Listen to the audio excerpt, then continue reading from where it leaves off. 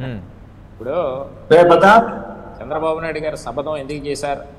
అసెంబ్లీలో శపథం ఎందుకు చేశారు? వీళ్ళు చేసినటువంటి చేష్టలకి అసెంబ్లీని ఏ విధంగా అపవిత్రం చేసి పర్సనల్ గ్రెడ్జెస్తో పర్సనల్ టార్గెట్ కూడా చేసినటువంటి పరిస్థితి ఆ రోజు కిందన కూర్చొని అసెంబ్లీలో నిరసన తెలియజేసినటువంటి పరిస్థితి చంద్రబాబు నాయుడు గారు ఆ రోజు మనం చూసాం ఆయన ఒకటే శపథం ఏం చేశాడు? రేపు రెండు వేల ఇరవై నాలుగులో మళ్ళా అగైన్ ముఖ్యమంత్రిగానే అడుగు పెడతాను అసెంబ్లీలో అనేది రాష్ట్ర వ్యాప్తంగా ప్రజల సాక్షిగా టీవీల సాక్షిగా చెప్పినటువంటి పరిస్థితి మనం క్లియర్గా చూసాం. అవును.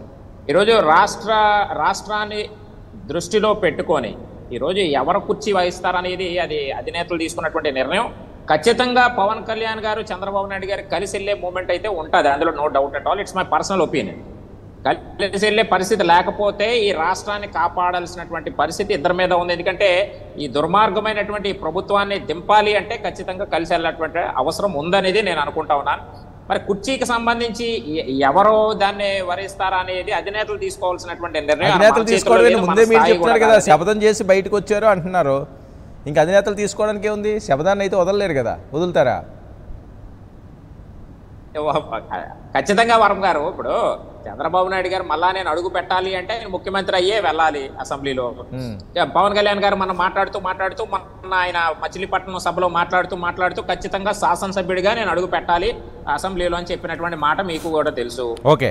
కాబట్టి ఏదేమైనప్పటికీ కూడా రాష్ట్రాన్ని రాష్ట్ర భవిష్యత్తు రాబోయే తరాల కోసం మరి మంచి రాష్ట్రం కావాలి అనుకుంటే ఖచ్చితంగా కలి కలిసి తెలవాలన్నటువంటి అవసరం ఉంది. ఈ ప్రభుత్వాన్ని తెంచి ఈ జగన్మోహన్ రెడ్డికి బుద్ధి చెప్పాలన్నటువంటి ఆలోచన అయితే ప్రతి ఒక్కరికి ఉందని నేను ఓకే. శ్రీనివాస్ గారు ఈ గెలుపు అన్నది కొద్దిగా బూస్టప్పే మీకు కలిసి వెళ్ళారని చెప్పి బాగా టాక్ నడిచింది కాబట్టి.